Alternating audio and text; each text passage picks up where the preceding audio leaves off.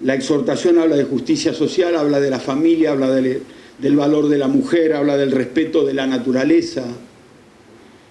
La exhortación habla de la tiranía de mercado, del anarcocapitalismo también, de, no dejarnos seducir por, por esa tiranía del mercado. Y la exhortación habla de los pobres. Nosotros tenemos 12 millones de alumnos, si contáramos los universitarios son 14, 14 millones de alumnos en un país de 44 millones de habitantes y los afanes de la educación en general y de la educación católica son para todos y cada uno, pero fundamentalmente para aquellos que, menos tienen. Hay un capítulo de, de este encuentro que es educación en la periferia.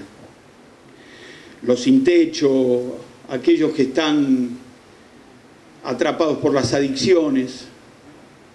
De paso digo que nosotros no creemos que haya una juventud blanca de la que estemos orgullosa y otra que esté siempre tropezando sin destino. Todos son nuestros hijos y si tienen la mala aventura de estar atrapados en las adicciones son más nuestros hijos que nunca. Así que esto queremos compartir una vez más con todos ustedes. Una vez más en este curso de Consudé que es, vuelvo a decir, casi una apertura del año. Quiero, quiero compartir que el sistema educativo, y pónganlo si quieren en nombre de la sociedad entera, no en nombre de un gobierno, este sistema educativo es infinitamente mejor que el sistema educativo de hace unos años.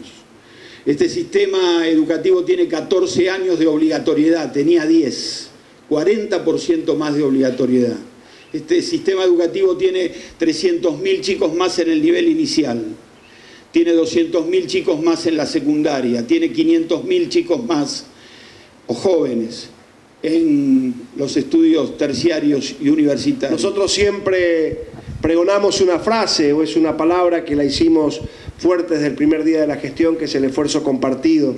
Cuando cada uno empieza a preguntar qué puede hacer para sumar, y en esa tarea hoy nos ve juntos al Estado, al gobierno transitorio como todos y a la Iglesia, con los hombres también transitorios de esta institución más que milenaria.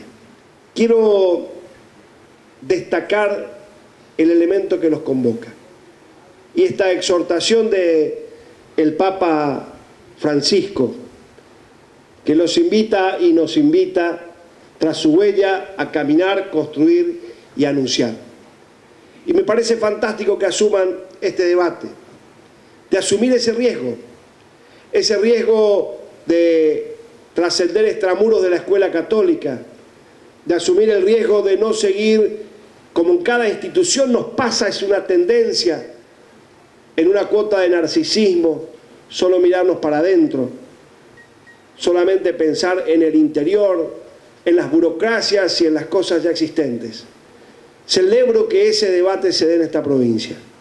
Celebro porque además creo que están asumiendo ustedes un desafío y un riesgo, como recién se decía, el riesgo a veces de salir, de asumir la marginalidad, pero no tengo duda alguna que eso le va a dar frescura, le va a dar juventud, le va a dar apertura a la educación católica con lo que significa esto para el modelo educativo de la República Argentina.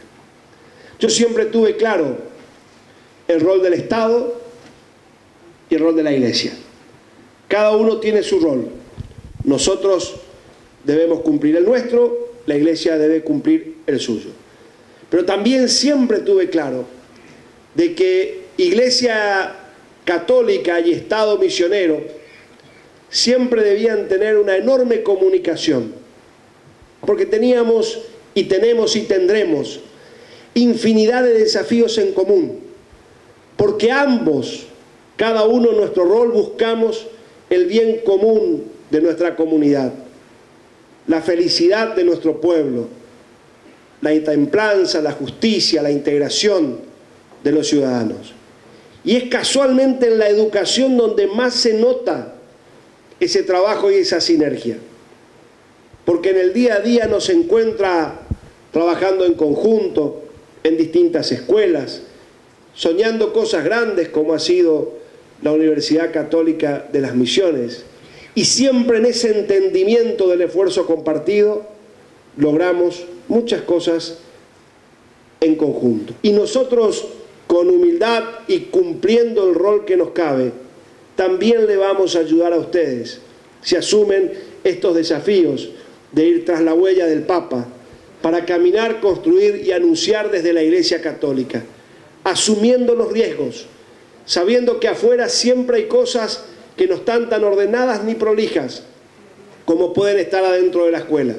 Pero esto que le decimos a ustedes y en esta predisposición a trabajar en conjunto, no es algo que se nos ocurre acá. Siempre lo dijimos en nuestro rol de gobierno en cada una de las escuelas que inauguramos.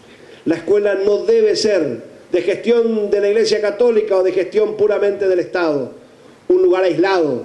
Debe estar integrado al barrio, debe estar integrado a la colonia, debe estar integrada a la comunidad, debe sentir, sufrir, participar y gozar de los problemas, las alegrías y las realidades que vive cada una de sus comunidades, cada una de sus familias.